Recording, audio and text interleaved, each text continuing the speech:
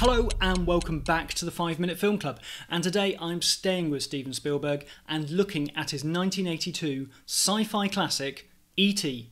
the Extraterrestrial.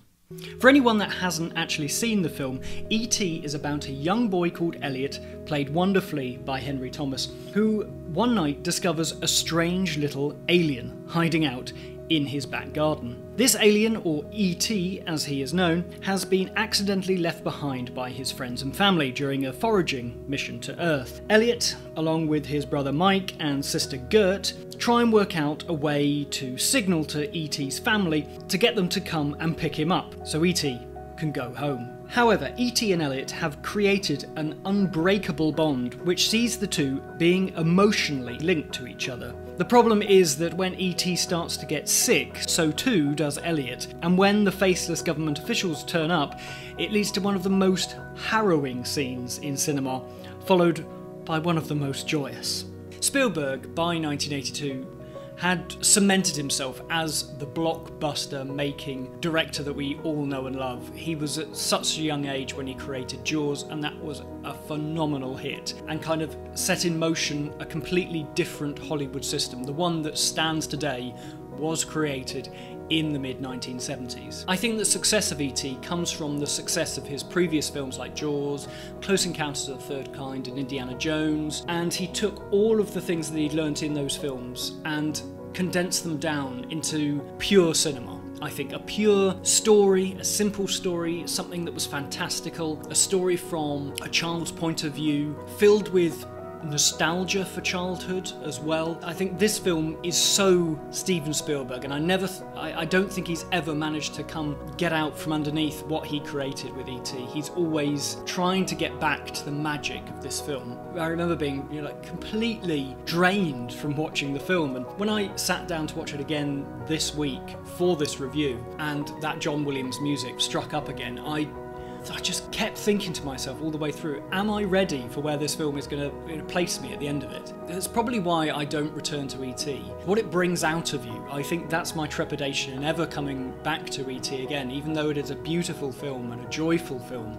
It is the emotions that it conjures up in you. And as I say, that's not just down to Steven Spielberg and in the way that he shoots this film, drawing the audience in in those reverse pans of coming into Elliott's face. The stuff that E.T. does, you know, when he creates the planets and makes them spill in the air, we're all seeing this from the point of view of the children. We're seeing it from their eyes. We're witnessing their wonderment. It's something that he does brilliantly in Jurassic Park. Sometimes he won't show you the magic that's going on on screen and what they're actually seeing with their eyes. We'll see their expression. We need to see the tears in their eyes. We need to see their expression for us to feel it. He shows us human emotion funnily enough, that makes us, the humans in the audience, connect with the film. And alongside Steven Spielberg and um, what he's doing visually, you have John Williams and his music. And watching it again, I was just like, when this happens at the end, I'm gonna go. That build of the music, when they're cycling and they're trying to get away, there's a lump in your throat. And it's there pretty much for the entire film. You have this pent up emotion and you just want something magical to happen. You're willing the extraordinary to happen, and when it does, the emotion can't be held back. I think also another element of ET is the writing, the screenwriting by Melissa Mathison. And I think there's a humanity there that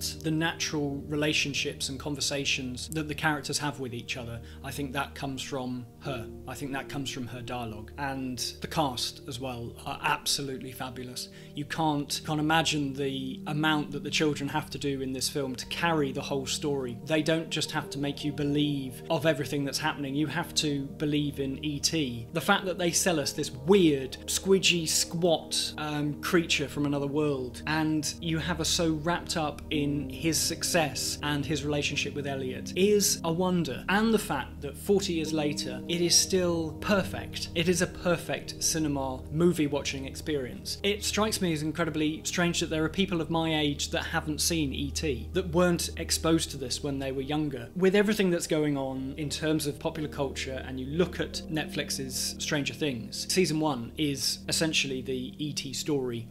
I love E.T., it is a fabulous film It gets me every single time I watch it, hence why I only watch it sparingly. Next week, I'm going to be looking at another cultural icon, and that is Robocop from the 80s again, from 1987, possibly the best year of uh, cinema. If you've seen Robocop, of course, many of you will have seen Robocop. Let me know your thoughts about that film in the comments down below, and let me know about your thoughts about E.T. as well.